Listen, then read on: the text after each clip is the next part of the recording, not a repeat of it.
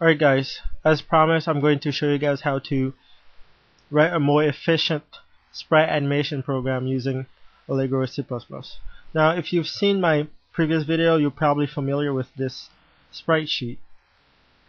Now since the code I'm going to show you guys today is going to be shorter than the previous one I am going to um, write code for pressing the key right. Because remember last time I only write, wrote code for pressing the key left. So I'm going to need a sprite sheet showing Sonic going to the right. So I'm just going to select all. I'm going to copy the sprite. I'm going to enlarge the window and I'm going to paste. Now I'm just going to put it right below it. And then to get the sprite sheet going to the right, I'm just going to select each frame. I'm just going to image, flip slash rotate, flip horizontally, and voila. You just do that for each frame, and then you'll have a sprite sheet showing your character going to the right. Now once you're done flipping all of your sprites, um, make sure that they are they all have the same width and height because this will make things easier in the future.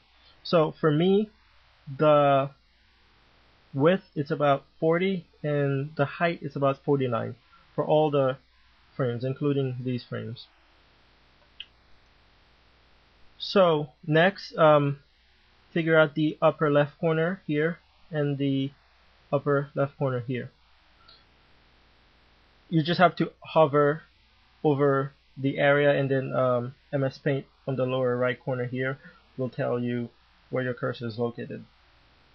Once you're done that, save your um, sprite sheet as a bitmap and then save it in the exact same folder you're saving your program.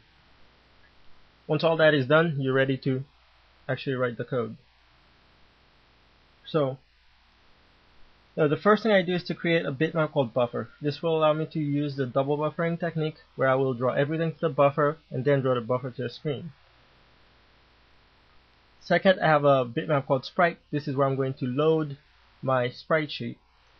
And then I have three integers, pick position y and pick position x. These are holding the position on the buffer where I'm going to be drawing the frames. And at frame I've initialized to 0, it's just referring to the frames. This is my main. These are lines of code you would put in pretty much any typical Allegro program. Here I am using enumeration. Enumeration allows you to assign a constant to a variable. If I wasn't using this, I would have to do something like this. int left equals 0, int right equals 1, and if I was doing up and down, I would have to assign them values also.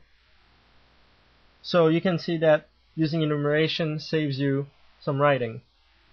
So um, the type of uh, the name of the enumeration in this case is direction and these are enumerators. By default if you don't assign the enumerators a value C++ will assign them for you. So it will assign the first one a value of 0 and the second one a value of 1, the third one a value of 2 and so on. So in this case left will have a value of 0 and right will have a value of 1. And remember my width and height are constant. My width is 40, my height is 49. Here, this is where I'm going to load my sprite sheet. My sprite sheet is saved as Sonic Walk in subtype bitmap. Here I am creating the buffer of size 640 and 480.